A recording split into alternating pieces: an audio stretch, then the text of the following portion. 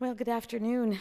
I'm delighted to be here, and thank you, Huguette, for that introduction. And thank you, Joe, for the opportunity to be here. I'm, I'm really delighted. It's, uh, you know, it's the worst place to be, to be the uh, very last speaker. It's, uh, everybody wants to get out. Some of you have flights to catch, and um, most of the information has already been covered in one place or another. I feel a little bit like an Oreo cookie. Uh, yesterday morning, you started your your sessions with my colleague Dean Allison. And uh, here I am at the very end. I once had a music professor who insisted that I learn my pieces from the end because she said it didn't matter what you did in the middle, as long as you finished well, you'd be okay. So I do hope that, like the Oreo cookie, that the middle has been the best part, though. And uh, Mahmoud, I, I don't have a quote in my, in my remarks, but if I follow your lead, I would like to use the quote from the poem Invictus that says, I am the master of my fate. I am the captain of my soul. And if there's one thing that I would like to see for the continent of Africa, is that that is the quote that people take forward and, and take seriously for what they can do with their own natural resources. And that's my hope for the countries of Africa. Over the past two days, you've heard from experts, you've heard from individuals with extensive experience in development, from government leaders, business experts, and academics. And I really regret that I've been unable to spend any time with you except my brief session yesterday, because this is an issue about which I care passionately. I care passionately as a businesswoman, I care passionately as a student of economics, and I care passionately because I have a very personal interest in uh, the health of Africa. You see, I, I have a personal connection. My daughter is married to Dr. Kofi Asante, who has a doctorate in electrical engineering. And uh, Kofi is now taking his experience and my daughter, by the looks of it, back to Ghana, to where he wants to be a catalyst to use his expertise in alternative energy capacity. Kofi knows that the resources are available to make Ghana successful and to have a vibrant economy. And he wants to be a catalyst in seeing that happen. I had a very wonderful conversation with Dr. Adam Mills last night, and uh, we uh, hope that we'll have many conversations in the future. Our government believes that with proper management, natural resources, especially in the extractive sector, can be the economic driver of a successful economy. Last year, the Foreign Affairs Committee looked at how we can engage the private sector in achieving Canada's international development objectives. We had many NGOs in front of our committee. Huguette, you were one of them, as well as bankers and builders, farmers and financiers, and miners and manufacturers. It was clear that helping countries find their and develop their comparative advantage would be the move towards sustainable economic growth. And I was very pleased yesterday in her remarks to hear Dr. Liberté emphasize that very same thing.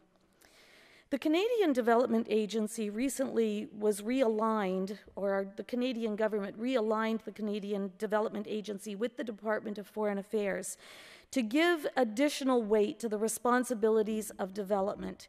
We see it as the critical third leg of the stool. We have foreign affairs, we have trade, and we have development and it puts our development priorities on an equal basis with diplomacy and trade. We remain committed to poverty alleviation, and we remain committed to responding to, to humanitarian crises. Canada continues to maintain a significant presence in Africa. CIDA undertook nearly half of its assistance last year in Africa. Seven of our countries of focus are located on the African continent. Our government doubled our aid to Africa, and, and we untied that aid to allow greater impact. But Africa's natural resource wealth is undeniable. With 10% of the world's oil fields, 40% of the world's gold, and rich reserves of chromium and platinum. And while it is true that political and economic instability have previously discouraged long term investments, things are changing. Many African countries now see the potential of the extractive sector and understand the economic and social benefits it can create if properly harnessed. Jobs both inside the extractive sector and indirectly through the supply chain can be created. Canada was built on the benefits of our natural resources, and we want to share that expertise with these emerging economies. We announced recently the new Africa Mineral Development Center, which will provide technical and policy support to African countries. Likewise, the new Canadian International Institute for Extractive Industries and Development will offer Canada's expertise in strengthening natural resource governance. We're working to build the capacity of developing country governments to manage their resources in a sustainable and a responsible way. This means helping them develop clear and consistent mining codes, oil and gas laws, and transparent revenue systems. It means helping governments create and coordinate policies for human rights and for the environment. And it means helping governments strengthen their information systems. Canada's work in Tanzania is an excellent example. The mining sector there has played a significant role in the economic growth of Tanzania. And with Canada's assistance, Tanzania now has more transparent and accountable regulations for its extractives. It raises public revenues, and in turn, it is able to invest in public services. We are also working to grow businesses and improve local economic development. With support from CIDA, World University Service of Canada, or WUSC, is providing direct skills training to 400 young people to help diversify the local economy. We enable communities to maximize the, maximize the benefits of the extractive sector through skills development for women, men, and youth. This assists the mining company to hire locally. Two years ago, I had the opportunity to visit the IAMGOLD mine at Essakane in Burkina Faso.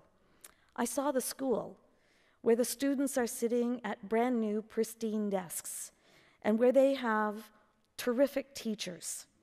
I saw the clinic that is populated with nurses who are very proud of their starched uniforms. And I visited the, the, the kitchen where the mine is using local produce to create nutritious meals for the miners and for the people who are working on staff. It's a remarkable, remarkable success story. So, private sector is the driver of long term economic growth. Canada's approach is to encourage local private sector development. We are committed to deepening our direct engagement with local and international private sector firms that can move individuals, families, and countries from poverty to prosperity. I was very privileged last Thursday night to speak at the conference in Toronto for the Canada Nigeria Investment Council. And it was with great pleasure that the day before, our foreign trade minister had just signed a FIPA, Foreign Investment Protection Act, with Nigeria. These are the kinds of opportunities that Canada is looking to explore because we know that that is going to grow economies for emerging countries. Canada is building bridges between developing countries, private sector interests, civil society, and donors. And these partnerships will foster development that will reduce poverty and create economic opportunities today and tomorrow. I commend each one of you for taking time to be here, Joe to the North South Institute for making this possible. And even though I wasn't able to be here with you, I know that this whole uh, seminar has been taped, and I do look forward to getting a copy of it and being able to review all of this and share it with my colleagues. So, congratulations to each and every one of you, and I look forward to working with you in the future.